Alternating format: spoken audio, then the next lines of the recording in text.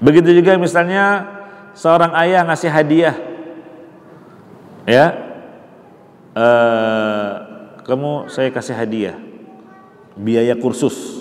Mau kursus apa kamu? Kursus komputer, kursus bahasa Inggris, atau kursus nyetir? Ya, dia pilih. Ya sudah, kursus ini dia ikut sampai akhirnya berhasil dia entah itu kursus komputer jadi pintar main komputer jadi punya keahlian atau kursus mobil dia pintar mengendari kendaraan ya atau kursus bahasa Inggris dia sekarang pandai berucap bahasa Inggris. Maka hadis seperti ini nggak bisa rujuk.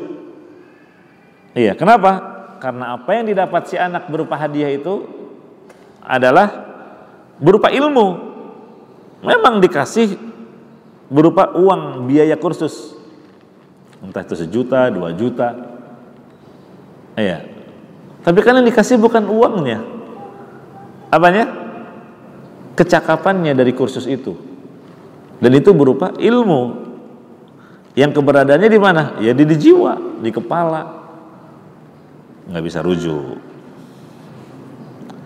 Nah terus yang bisa rujuk gimana? Tapi bisa nyambung, masih menyambung. Misal, ayahnya ngasih mobil hadiah.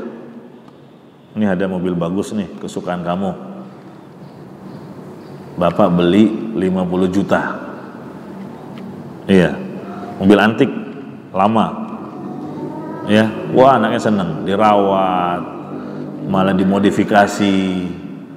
Ya pinter. Sampai akhirnya sekian tahun kemudian harganya jadi dua kali lipat. 100 juta Terus ayahnya mau rujuk dari pemberian hadiah itu. Iya, nak, ayah lagi butuh nih, ayah mau tarik kembali deh hadiahnya. Ini bisa nggak? Bisa. Tapi haknya ayah cuma 50 juta. Iya, ini harga sekarang. Kata kan katanya bagus sekarang harganya jadi 100 juta. Iya, itu kan setelah saya modif, saya saya dandanin, saya cakepin, makanya lakunya sekian. Oh nggak bisa, Enggak, haknya ayah tetap 50 juta. Itu masih masih bersatu kan, masih nyambung, tapi masih bisa diperkirakan. Nah ini, itu yang kedua, ya seorang ayah bisa rujuk dari pemberian hadiah yang diberikan ke anaknya.